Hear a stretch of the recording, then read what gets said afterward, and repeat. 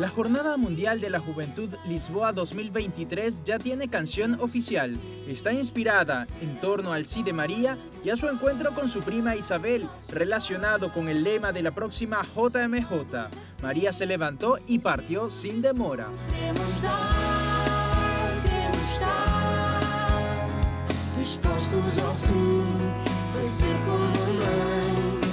Hay prisa en el aire fue elegida a través de un concurso.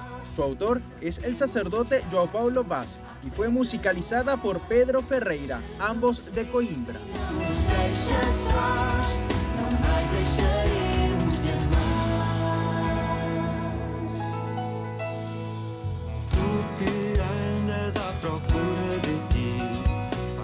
Medio de la preparación al encuentro mundial de jóvenes con el Papa, este himno invita a identificarse con la Virgen María, disponiéndose al servicio, a la misión y a transformar el mundo.